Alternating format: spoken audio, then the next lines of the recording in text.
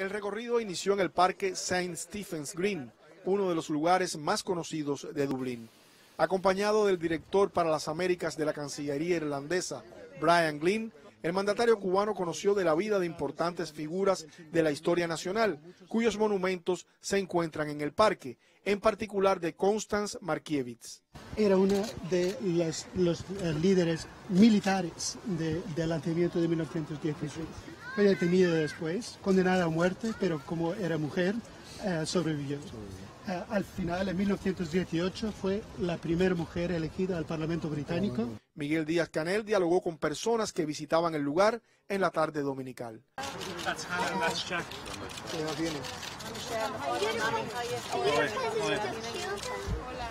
¿Le gusta Cuba? ¿Le gusta Cuba? ¿Do you like Cuba? Yes, yes, yes. ¿Han ido a Cuba? Have you ever been to Cuba? Mamá y papá los tienen que llevar. Your parents have to take you there. He can bring us if he wants.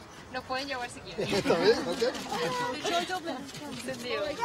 Posteriormente conoció detalles de la arquitectura irlandesa al caminar por la calle Dawson, donde se encuentra la Mansion House, residencia oficial del alcalde de Dublín. Pero, pero usted está loco, de ahí, ahí.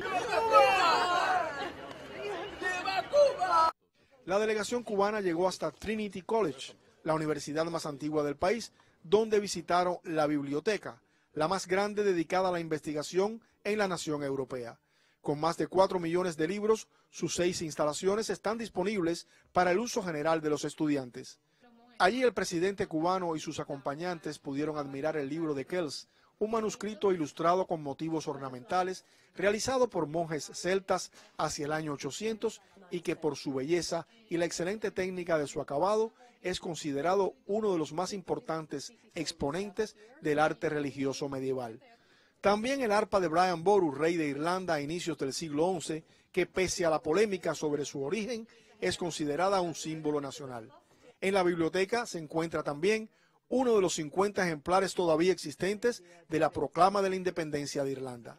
Miguel Díaz Canel plasmó sus impresiones en el libro de visitantes. Agradecemos la amabilidad, las atenciones y el tiempo que ustedes nos han dedicado, lo cual ha hecho posible que podamos admirar elementos fundamentales de la historia, la cultura, la educación, la ciencia y los valores de esta bella tierra irlandesa. Y haber escrito esto hoy, haberlo compartido con la delegación que nos acompaña, tiene para nosotros una enorme significación porque hoy es el Día de la Cultura Cubana. Hasta uno de los lugares más emblemáticos de la capital irlandesa, la Catedral de San Patricio, llegó después el mandatario. Allí recorrió sus majestuosas instalaciones. La visita del presidente de la República de Cuba reviste una gran trascendencia para el gobierno irlandés. Las relaciones bilaterales ya son excelentes. Cuba está representado aquí con una embajada desde hace mucho tiempo y nosotros eh, siempre hemos apoyado a, a, Cuba cuando Cuba experimentó dificultades eh, a nivel multilateral, por ejemplo. Irlanda es uno de los países que no ve, eh, que no ve sensato el, el, bloqueo de Estados Unidos y siempre cada año eh, mostramos nuestro apoyo y este año no va, a ser no va a ser diferente. Este lunes Miguel Díaz Canel Bermúdez será recibido por el presidente Michael Higgins, con quien sostendrá conversaciones oficiales. También tiene previsto un encuentro con el primer ministro Leo Varadkar, entre otras actividades. Desde Dublín, capital de la República de Irlanda, ha sido un reporte de Héctor Martínez para el Sistema Informativo de la Televisión Cubana.